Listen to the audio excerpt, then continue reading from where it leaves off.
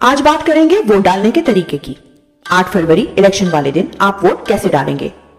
एक रात पहले वो पर्ची जिस पर आपने आठ तीन सिफर सिफर, यानी 8300 पर मैसेज करके अपना कौमी और सूबाई हल्का, अपना ब्लॉक नंबर, सिलसिला नंबर और घराना नंबर दर्ज किया था, उसको अपने पर्स या वॉलेट में डाल लें इसके साथ साथ ये भी यकीनी बनाएँ कि आपने अपना असल शनाख्ती कार्ड भी साथ रखा है, क्योंकि फोटोकॉपी काबिल कबूल नहीं। कोशिश करें सुबह सुबह वोट डालने अपने और अपने घर या मोहल्ले वालों के साथ निकले। मुतालिका पोलिंग स्टेशन पर पहुंचकर पोलिंग कैंप्स की जाने रुख करें। ये कैंप्स पर्ची बनाने के लिए होते हैं। अगर आपके पास पहले से ही बनाई हुई पर्ची मौजूद है तो आप लाइन में लगने का वक्त बचा सकते हैं। फिर पोलिंग स्टेशन में अपनी शनाख्त साबित करवाएँ, अपना शनाख्ती कार्ड दिखाकर। आपको दो तरह की पर्चियाँ दी जाएँगी। हरी पर्ची, कौमी असेंबली की, सफ़ेद वाली, सूबाई असेंबली की।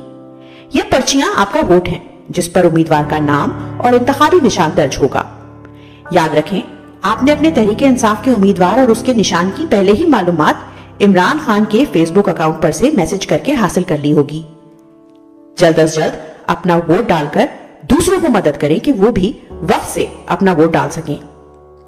आपका 8 फरवरी को वोट उस अबाबीलों के पत्थरों की मानंद है, जो जुल्म, करप्शन और फस्तायत के हाथियों को रोंद कर रख देगा। इनशाला जुल्म का बदला वोट।